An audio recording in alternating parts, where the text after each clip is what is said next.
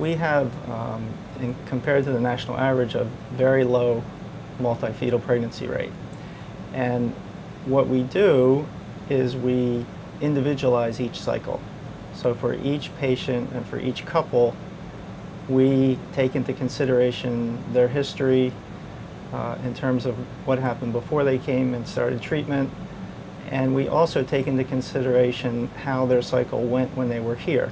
And we put all those factors together between the laboratory and the physicians, and we come up with a very conservative guideline in terms of the number of embryos that we put back in a patient.